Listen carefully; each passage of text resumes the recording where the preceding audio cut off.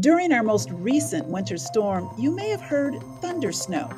This phenomena is unusual because it can only happen a few times a year. In order to form thunderstorms require three things moisture, unstable air, and lift. As air heats, it rises. Rising air cools, condenses, and forms clouds. Air is considered unstable if it continues to rise on its own after getting a nudge from a cold front or a warm front. Lift is provided in the form of a front, heat, low pressure, or other mechanisms that will force the air to continue to rise. These components rarely occur when it's snowing because the air temperature in winter snowstorms is consistently cold at both high and lower points in the atmosphere. But in some winter storms, shallow layers of warm air are lifted and continue to rise on their own.